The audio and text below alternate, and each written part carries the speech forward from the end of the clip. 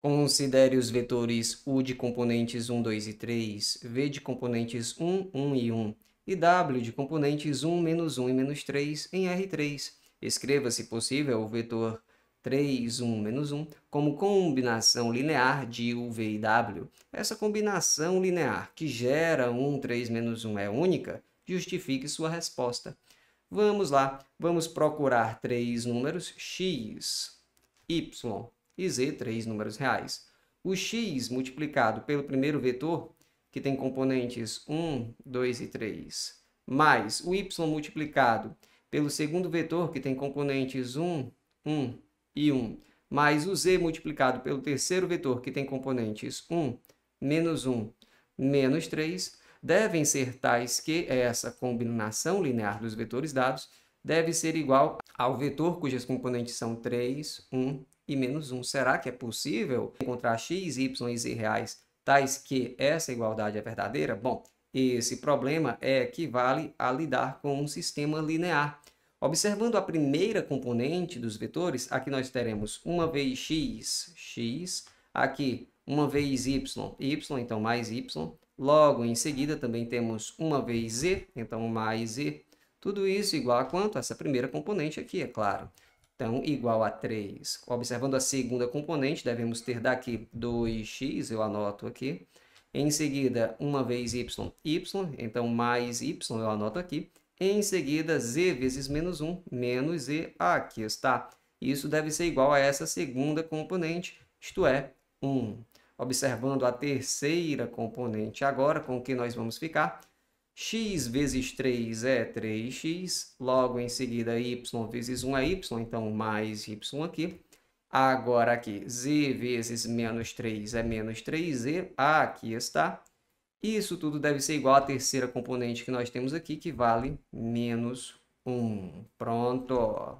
Beleza, vamos estudar esse sistema e vamos ver se é possível encontrar x, y e z satisfazendo as três equações. Eu vou utilizar aqui o método do escalonamento. Como eu observo aqui 2x, eu posso substituir essa segunda equação pela soma dela com a primeira, previamente multiplicada por menos 2.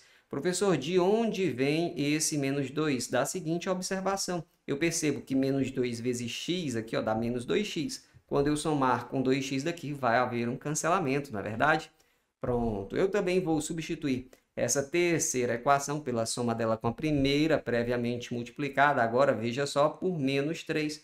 Professor, de onde vem o menos 3? Eu vou te dizer, é muito fácil. Ele vem da seguinte observação. Menos 3 vezes x é menos 3x. Com mais 3x aqui, vai cancelar, não é verdade? Aí a gente vai ficar com um sistema mais simples e equivalente ao nosso sistema original. A primeira equação eu simplesmente repito, x mais y mais z igual a 3. Olho agora para a segunda equação. Menos 2 vezes x menos 2x. Com mais 2x daqui, zero. Não preciso escrever nada aqui. Menos 2 vezes y, menos 2y. Com mais y daqui, dá menos y. Aqui está. Menos 2 vezes z, menos 2z. Com menos z daqui, dá menos 3z. Seguindo em frente, menos 2 vezes 3 dá menos 6. Com mais 1 daqui, dá menos 5. Aqui está menos 3 vezes x, menos 3x, com mais 3x daqui, zero, não preciso escrever nada aqui. Menos 3 vezes y, menos 3y, com mais y daqui dá menos 2y, ah, aqui está. Menos 3 vezes z, menos 3z, com menos 3z daqui dá menos 6z, aqui está, tudo isso igual a quanto? Menos 3 vezes 3, menos 9, com menos 1 daqui dá menos 10. Para seguir em frente com o nosso escalonamento, vou substituir a terceira equação pela soma dela com a segunda, previamente multiplicada por menos 2. Por que menos 2, professor? Porque eu faço a seguinte observação. Menos 2 vezes menos y dá mais 2y. Mais 2y com menos 2y daqui cancela, dá zero. Aí fica tudo muito mais fácil. Observe com o que nós vamos ficar.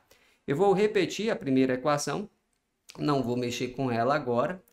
Vou repetir também a segunda equação, menos y menos 3z igual a menos 5, muito cuidado aqui. Vamos em frente. Menos 2 vezes menos y mais 2y. Com menos 2y daqui, cancela, não sobra nada. Então, não escrevo nada aqui. Menos 2 vezes menos 3e mais 6e. Com menos 6e daqui, cancela, dá zero. Vou deixar o zero escrito aqui nesse caso. Menos 2 vezes menos 5 mais 10. Com menos 10 daqui, zero. Eu deixei esse zero escrito para que você visse que essa terceira equação se reduz apenas a zero igual a zero. Então, essa terceira equação ela é dispensável. O nosso sistema é equivalente a apenas essas duas equações que eu tenho aqui inicialmente. A primeira delas diz que x mais y mais e é igual a 3. E a segunda delas diz que menos y menos 3e é igual a menos 5. Multiplicando por menos 1 os dois membros da equação aqui, ficamos com y mais 3e igual a 5, não é verdade?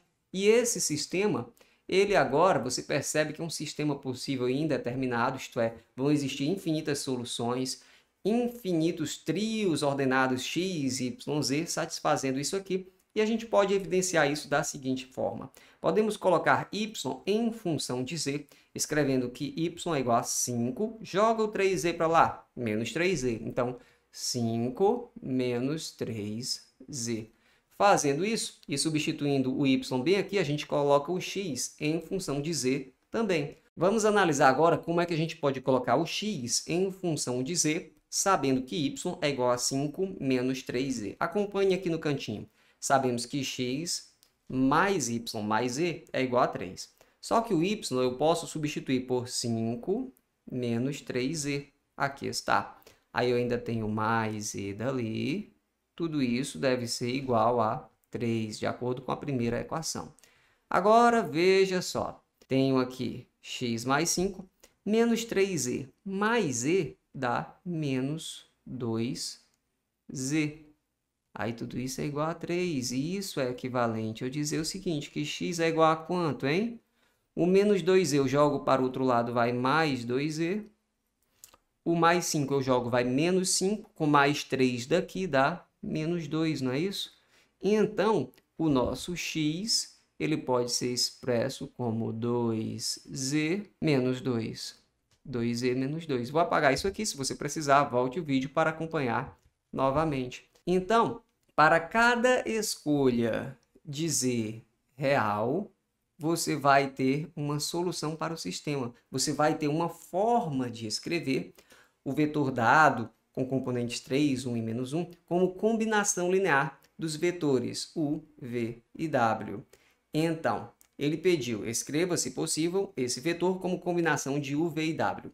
Vamos fazer uma escolha para z, de maneira que a gente possa escrever o que se pede, né? Eu vou fazer bem aqui. Escolhendo z igual a zero, temos, por que você escolheu z igual a zero, professor? Por simplicidade. Escolhendo z igual a zero, o que eu vou ter? O x vai ser 2 vezes zero, zero, né? Menos 2. Então, o x fica sendo menos 2. Menos 2 vezes o primeiro vetor aqui, menos 2 vezes u. Escolhendo z igual a zero, o y fica igual a 5, porque aqui vai zerar, não é? Então, fica mais 5 vezes o vetor v, aqui está. Escolhendo z igual a zero, eu vou deixar expresso aqui, só por mais clareza. z é zero, zero vezes o terceiro vetor, que é o vetor w. Pronto. Então, isso aqui é uma combinação linear que gera o vetor de componentes 3, 1, menos 1. E eu não vou escrever aqui, mas você percebe que existem infinitas formas de escrever o vetor 3, 1, menos 1 como combinação linear desses vetores dados, uma para cada escolha de z real. Beleza? Se você quiser, verifique que, de fato, essa combinação linear, trocando x por menos 2, o y por 5 e o z por 0, essa combinação linear vai, de fato, gerar o vetor com componentes 3, 1, menos 1. Verifique. E está na hora de dizer que este vídeo foi feito de coração para te ajudar. Se ele te ajudou, deixe um comentário dizendo que você entendeu tudo direitinho ou faça um comentário com uma pergunta para que você possa entender melhor o assunto. A gente fica por aqui, um abraço e até a próxima. Tchau!